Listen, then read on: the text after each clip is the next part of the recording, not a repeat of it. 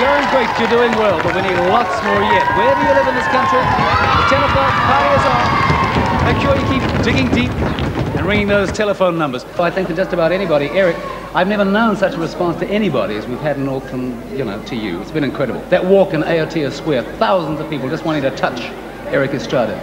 Is this your first telephone?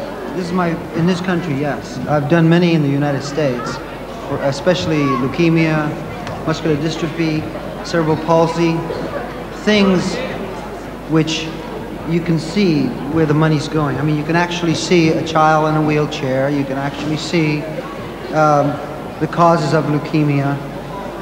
Um, you can actually see the, the deformity of the bodies because of the disease.